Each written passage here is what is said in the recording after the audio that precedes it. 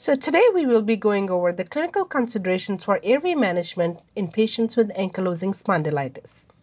First, we will go over the overview of ankylosing spondylitis and airway considerations.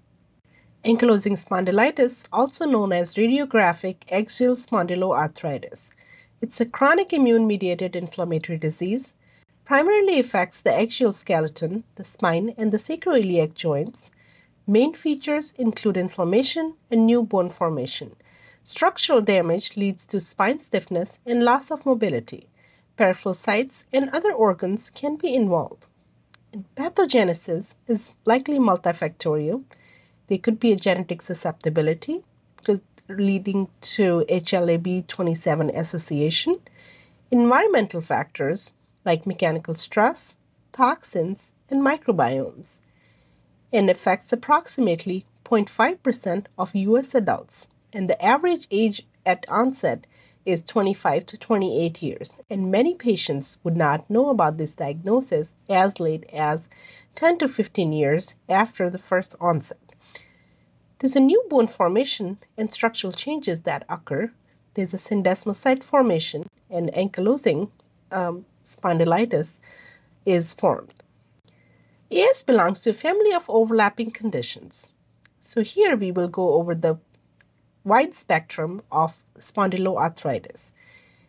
There could be axial spondyloarthritis, could be undifferentiated peripheral spondyloarthritis, reactive arthritis, peripheral spondyloarthritis, radiographic axial spondyloarthritis, non-radiographic, psoriatic arthritis, and IBD associated.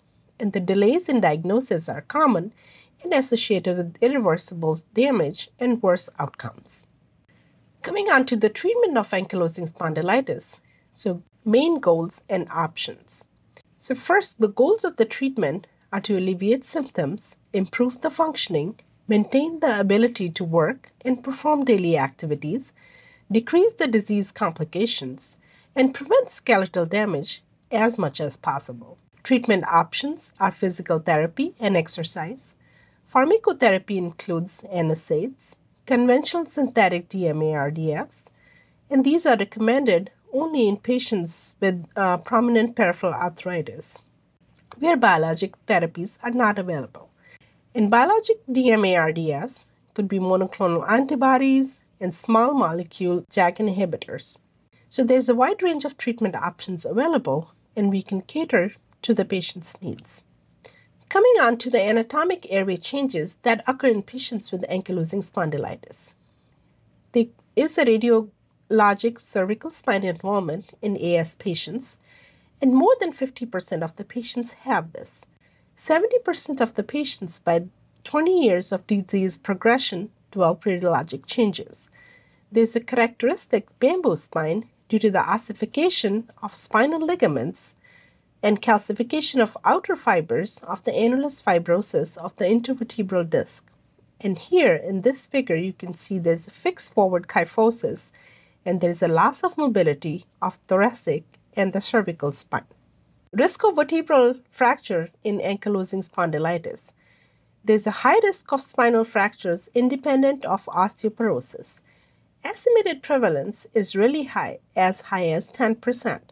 So, this study that was published in Rheumatology in 1994, there was a study of 122 patients with uh, spine fractures and 112 patients with ankylosing spondylitis. In majority of the fractures, they had a transdiscal extension injuries, most commonly affecting C6, C7 level, and 58% of these patients had spinal cord injury. So you can see there's a very high incidence of spinal cord injury in these patients.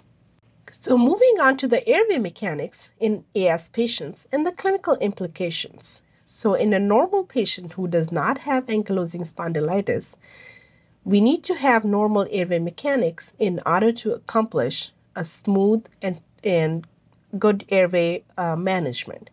But in these patients with ankylosing spondylitis, we have a disruption of the airway mechanics that can actually lead to catastrophic complications. So the structural changes in cervical spine increase the susceptibility to low energy trauma, limited mouth opening due to TM joint involvement is there, and challenges with direct laryngoscopy and leading to difficult tracheal intubation. So we will go over the airway management in patients with ankylosing spondylitis in pre-hospital settings. We will be doing case-based discussions for pre-hospital, for the hospital patients, as well as in the setting of COVID-19. First, I will be going over um, a case study in which we will be managing a patient um, in a pre-hospital setting. So first case study is about a 65 year old man with ankylosing spondylitis and rheumatoid arthritis who presented with focal uh, cervical spinal pain after a fall. The patient was leaning on a plastic table that gave out, hit back the head and neck on the way down. There was no loss of consciousness during the fall, and the patient was able to ambulate after the fall. He denied any dizziness or lightheadedness prior to falling. So, how do we recognize and assess the presence of AS in the field? This is very important for our first responders to know the signs and symptoms and how to manage these patients. Assess for any obvious or subtle neck or spine deformity. Inspect for medical alerts or emergency information. That could be in the form of bracelets, necklace, or smartphones. Question the family members or friends about the presence of any chronic spine issues. In the patients who in, of AS who have experienced a fall or trauma and complain of acute back or neck pain, assume that a spinal fracture is present unless it's proven otherwise. Spinal immobilization of patients with AS in emergency pre-hospital setting is one of the most important things to remember. So these patients should not be treated same as anybody who does not have AS. The usual stabilization devices or stabilization um, forms cannot be used in patients with AS. Cervical collars or rigid backboards may cause spinal fractures and subsequently lead to neurological damage. Splinting in place with sufficient padding materials is a safer alternative means of cervical Im, um, immobilization or stabilization in patients with AS. Minimizing the neck manipulation during emergency airway management. So, when you're in the field or pre hospital setting, there are a lot of devices that may not be available, but if we follow the general principle, we can accomplish safe airway management of these patients even in the pre-hospital setting. Maintain adequate oxygenation with bag mask ventilation or with the supraglottic device. If intubation is essential, consider devices that include video laryngoscopic technology. If endotracheal intubation is emergently needed, a surgical airway is a reasonable approach, but we need to be very, very careful in patients who have fixed flexion deformities, in those patients, access to front of neck may not be possible. Coming on to the transfer of care of these patients from the pre-hospital setting, inform all the relevant healthcare providers about the presence or a possibility of AS and provide detailed information about the treatment modifications that were implemented in the pre hospital setting. So, a good handoff is really important in this situation. So, now coming back to our case. So, now our patient comes to the emergency department. On the review of systems, there were no pain, numbness, tingling, or weakness of the extremities, no pain in any other area of the body, and the bowel and bladder function was normal. The objective findings there was no evidence of bleeding, CT head was negative for bleed, chest x ray was negative for any rib fractures, and MRI and CT cervical spine demonstrated a unstable C6 C7 fracture. The patient was transferred to a tertiary care center for surgery, and in that hospital, the patient underwent a C5 to T1 stabilization, and there was a posterior arthrodesis that was done from C5 to T1. So the airway management was accomplished with video laryngoscope and manual inline stabilization. So now moving forward to airway management in patients with ankylosing spondylitis in a hospital setting. 55-year-old man with ankylosing spondylitis with multiple other medical problems. In December 2018, the patient presented with the neck pain after impact injury. Was sitting in a wheelchair, was pushed by a young family member, and the patient was ran into a pole sitting on the wheelchair. Right area of the neck became sore. Physical therapy helped him with the range of motion of neck. In March 2019, rhizotomy of the right cervical spine was done. July 2020, neurosurgery clinic had this patient presenting with neck pain that had been worsening over the last few months. Location of the pain was on the left side of the neck and radiating to the clavicle bilaterally. Pain characteristics were constant, dull, tingling, sore, or lightning or shock like pain intermittently, and constant aching that the patient was having. As was associated with intermittent left neck and face numbness, there was no pain radiating down the arms or the legs, and there was no ataxia or recent falls. There was no bladder or bowel incontinence that was noted by the patient. But the patient reported that his cervical uh, kyphosis had worsened than the previous years. So the past medical history included AS with chronic cervical kyphosis, hypertension, obesity, venous insufficiency with stasis ulcer, and the patient was a heavy smoker, smoking up to three and a half to four packs per day. And the patient has an intrathecal pump with hydromorphone for his chronic pain management. So, on further imaging, the CT scan showed a new type 2 dens fracture, and the cervical x rays demonstrated the anterior displacement of the known fracture that you can see on this x ray and the patient was directly sent to ED for admission. So then he underwent an occipital to T7 fusion with T3 PSO reduction of C2 fracture with mobile intraop CT scan. Postoperatively, the patient was transferred to neuro ICU for further monitoring and management, and the patient remained in the hospital for two weeks and was discharged in the stable condition. So, an individualized approach was done for the airway management um, of this patient. So these are the things to consider for the airway management in a hospital setting.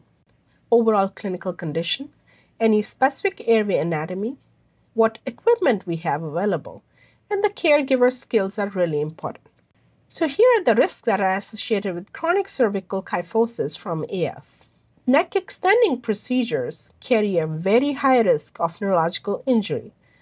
The vertebral basilar insufficiency from bony encroachment on the vertebral artery can occur. So, neck ex- extension, acutely and severe neck extension, can be extremely dangerous in these patients. So, we will go over the direct and indirect approaches to tracheal intubation in patients with AS. Direct laryngoscopy that is usually used in patients who do not have any AS or any spine problems.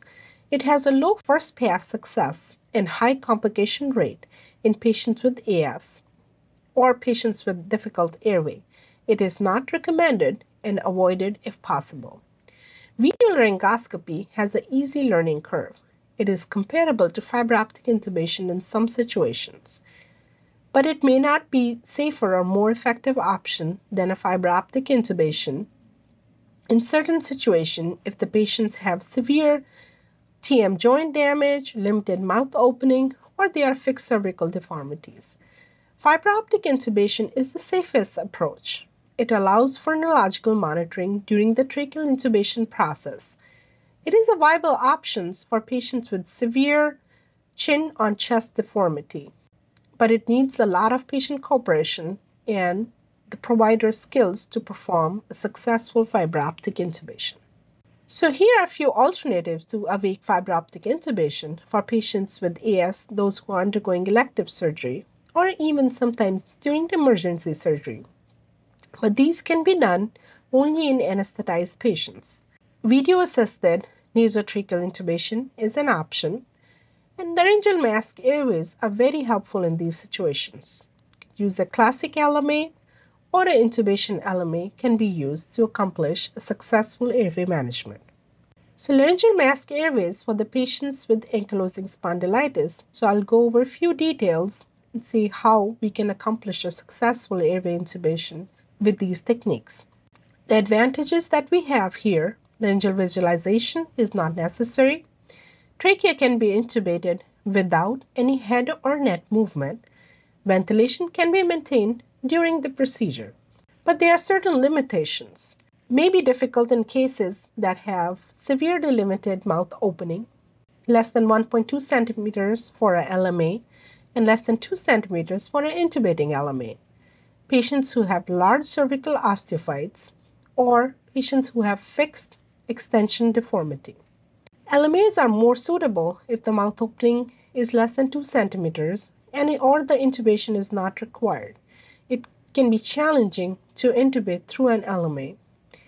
Intubating LMA may be easier to insert and intubation actually could be successfully done through an intubating LMA, but you need a bigger mouth opening in order to put the intubating LMA in.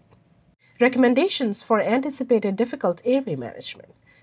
So they are non-invasive approaches that you can follow. Identify a preferred sequence of devices. Combination techniques may be performed and they actually might be more successful. Beware of the passage of time, the number of attempts you're doing, and the oxygen saturation. Provide mask ventilation after each attempt when possible. Limit the number of attempts of tracheal intubation to avoid any potential injury and complications. Again, if you are taking an invasive route, identify a preferred in intervention. Ensure proper training in invasive airway techniques whenever possible. Identify an alternative, always have a plan B in mind. Initiate ECMO when appropriate and available. So now we will move forward to the airway management of patients in the setting of COVID 19. So, the airway management is itself complicated in the presence of COVID 19, and there could be any some additional problems that these patients can have if they have an underlying ankylosing spondylitis, and that we will go over in the next few slides. So, our third case is of a 78 year old man with progressive motor weakness and numbness after a fall. Past medical history is positive for ankylosing spondylitis, hypertension, diabetes, colon cancer, status post resection in 1991, and panic attacks. On the day of presentation, the patient had a panic attack at home, received 0.5 milligram clonazepam from the sister, a few hours later, was helping sister up some stairs and he fell. He did not hit his head or lose consciousness, was able to get up after a fall, noted a severe back pain after that fall happened. Later the same day, began to have motor weakness and numbness of bilateral lower extremities and eventually progressing to complete paralysis. So the CT scan showed fractures that were extending from C5 to T1, as well as ankylosing spondylitis, and they were comminuted bilateral lamina pedicle fractures without any fragments in the canal, as well as the thoracic spine was done. And there was an epidural hematoma that was noted from C6 to T7, T8, and there was a ventral displacement of cervical or thoracic cord and there was a significant evidence of cord compression. Intermittent hypotension was treated with norepinephrine infusion, and the patient was transferred to a tertiary care center for further management. The patient reported numbness of the lower extremities as well as below nipples, was unable to move bilateral lower extremities, and the pain was noted on um, the cervical spine. There was no motor weakness or numbness or tingling of the upper extremities, and no rectal tone was present, and the patient was incidentally found to be COVID positive.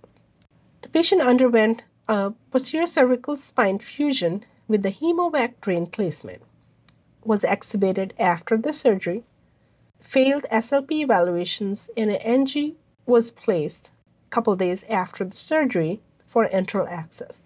The patient eventually had worsening mental status and oxygenation and had a cardiopulmonary arrest on post op day two.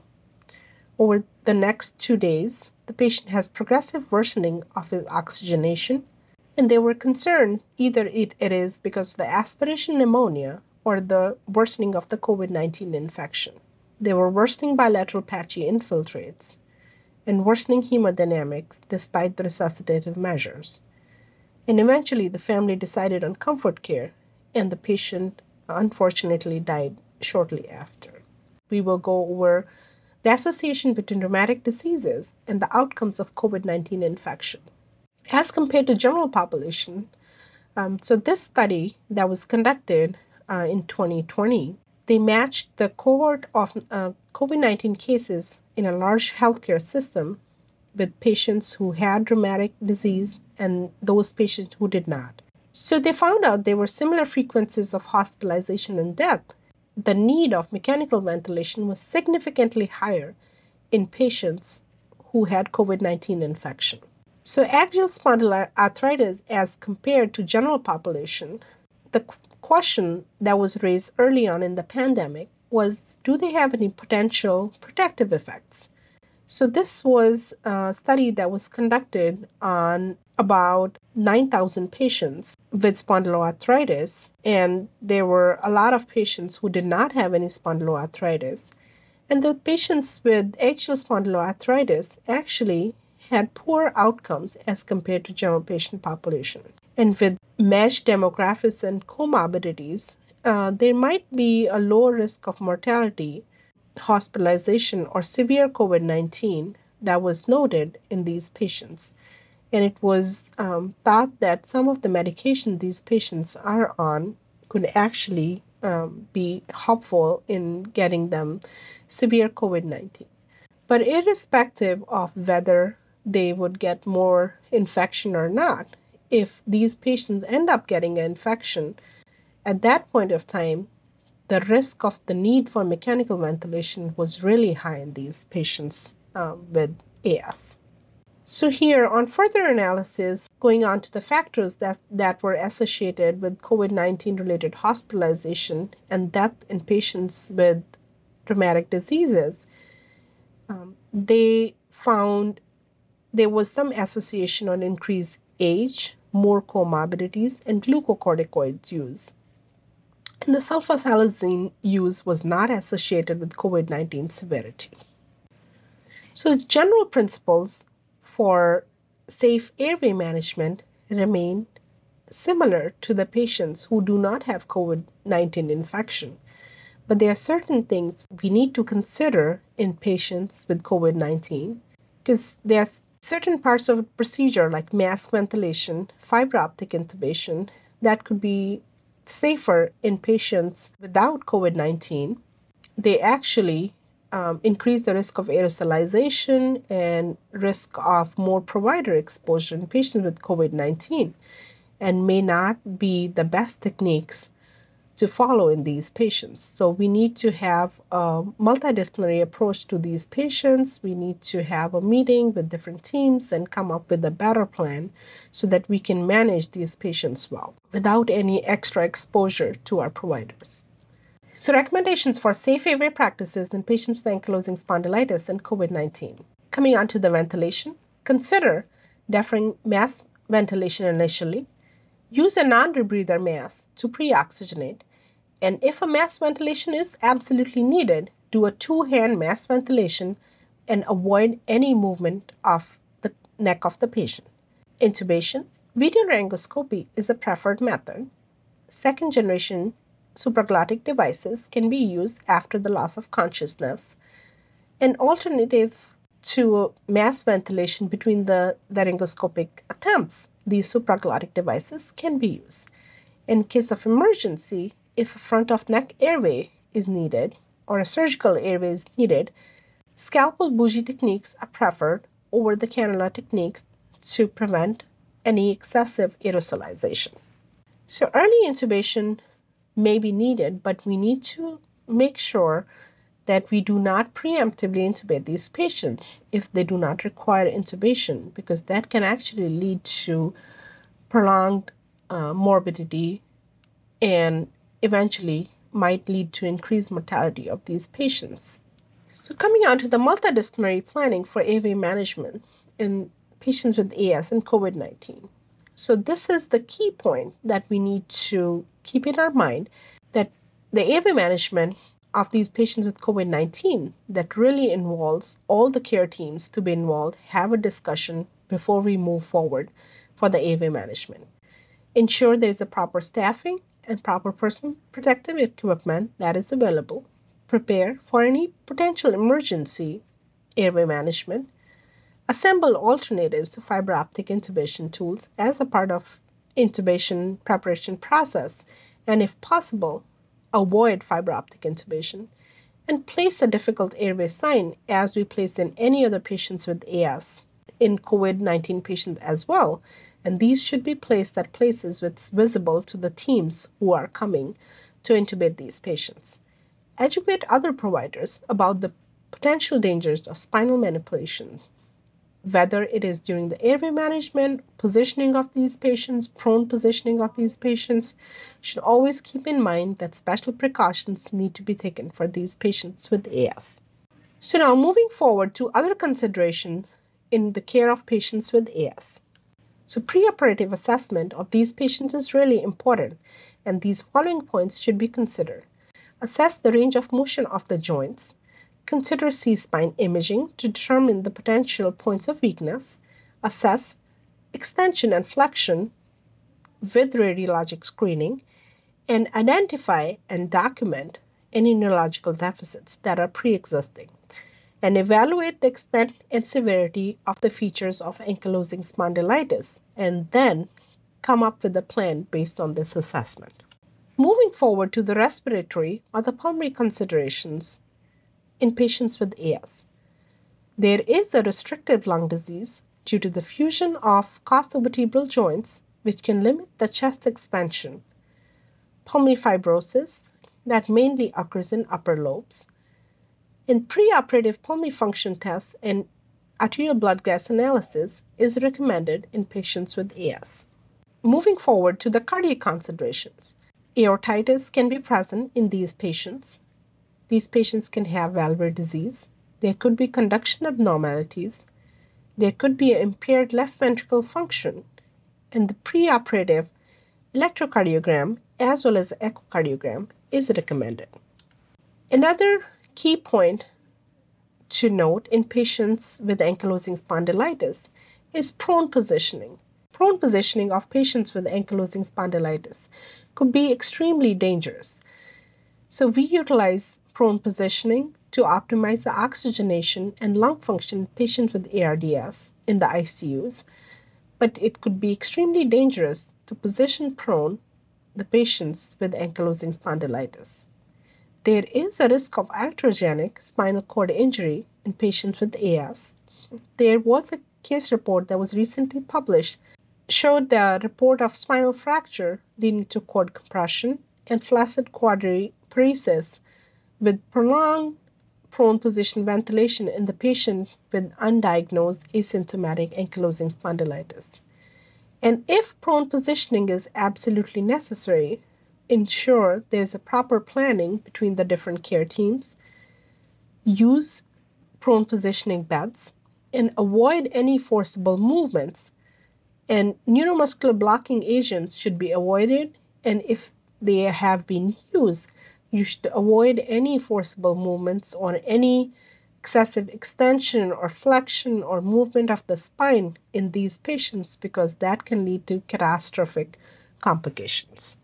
I would like to go over um, the mortality in hospitalization patients with ankylosing spondylitis. So I would like to highlight here if the patient's ankylosing spondylitis develop a spinal cord injury, their mortality is way higher in the patients without any spinal cord injury.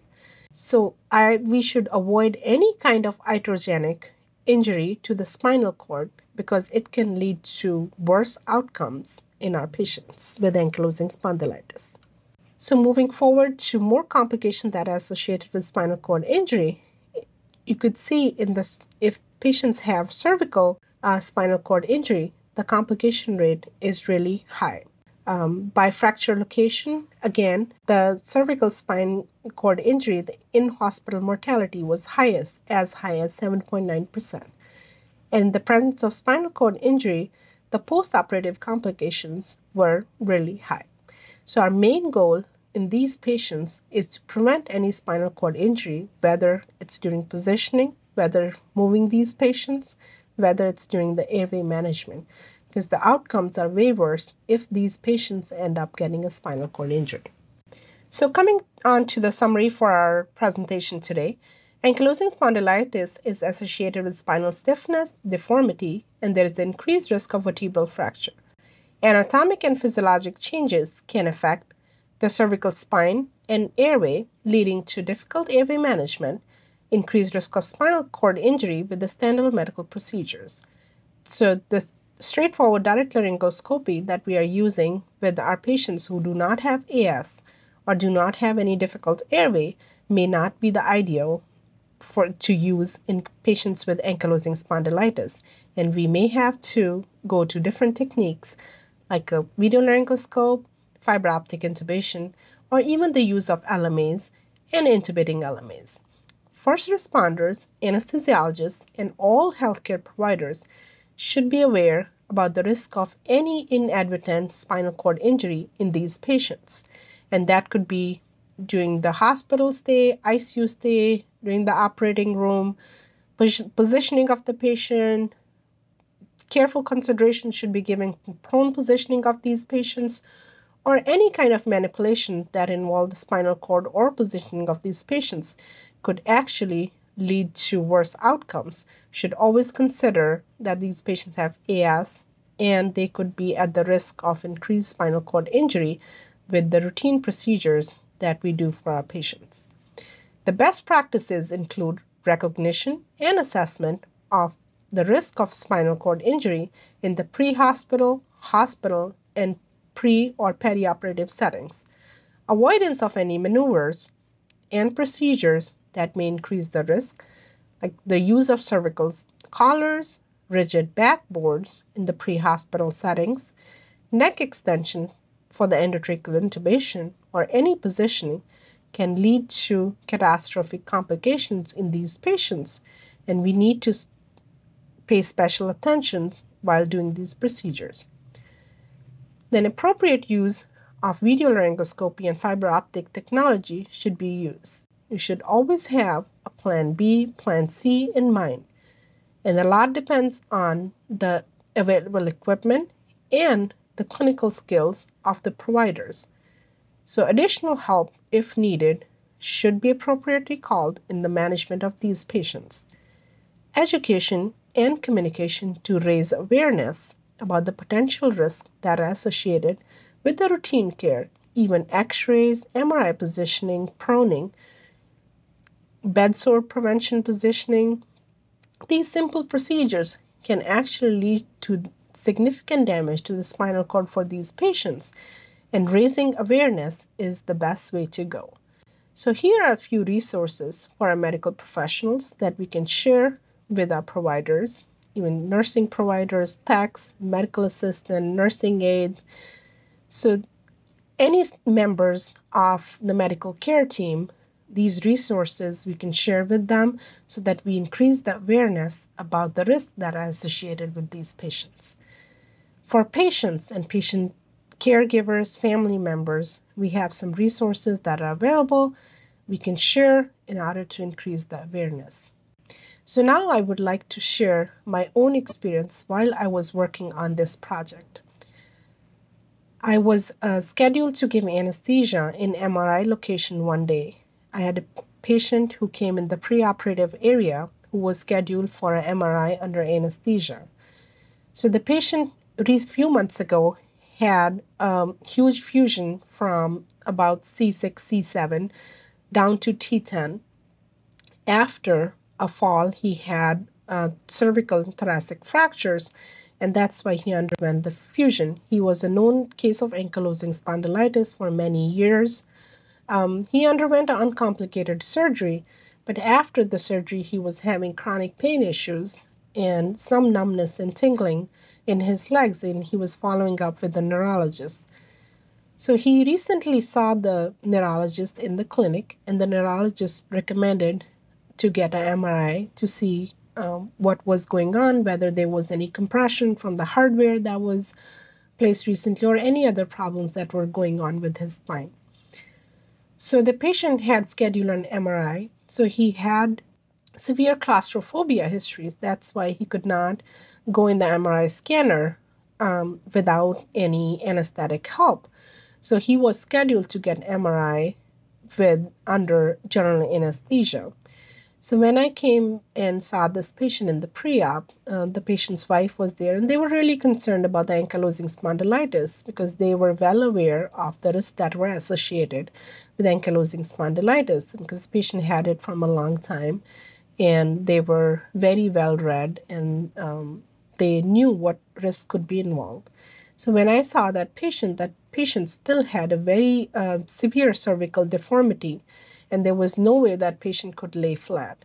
And if I would anesthetize this patient and try to lay them um, flat after giving muscle relaxation, I was worried that I could lead to um, catastrophic complications after this. And that was the whole reason I was um, I got so concerned was my involvement in this project, the reading I had done, and I could see that long term, I might um, make the outcomes for this patient way worse as compared to what he was now. So I um, tried to see with the surgeon for the patient. So I picked up my phone, called the surgeon. Um, so initially, the surgeon did not respond, but in a few minutes, this I was so thankful that the surgeon gave me a call back, and I discussed the situation with him. And the surgeon was really thankful to me that I reached out to him to discuss about the patient because he was like, if we had anesthetized this patient and um, paralyzed this patient and positioned straight on an MRI table, the patient would have easily got fractures above the hardware as well as below the hardware, and that would have led to permanent spinal cord damage and even um, quadriplegia for this patient. And I was really thankful that I was involved in this project and I got that awareness to be able to recognize that my patient was so high risk for um, anesthesia as well as for the positioning that we had to do on the MRI table. And I was so glad that I did not move forward and anesthetize this patient and position him. That could have actually led to um, severe complications for him. And I discussed with the patient, I discussed this with the patient's wife, and they were really thankful for me to uh, contact their surgeon and discuss the concerns that I had. And um, they expressed extreme thanks, even though he was very uncomfortable with the pain he had. So eventually, he went back to his neurologist and um, discussed about the concerns, and he never ended up needing that MRI again. Um, but my involvement involvement in this project um, helped me become aware about the risks even more, even though as an anesthesiologist I have always read about it.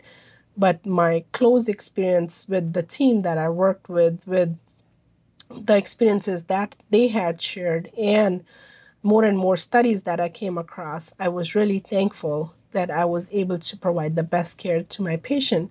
And I really hope after you go through the CME, you will be able to provide excellent care to your patients um, and prevent any further damage to the spinal cord of these patients or worsen their long term outcomes um, by the routine procedures that we do for patients who do not have ankylosing spondylitis. Thank you for your attention. Have a great day. Thank you for your participation in this activity. Please continue on to complete the post-test and evaluation. Both are required to claim CME credit.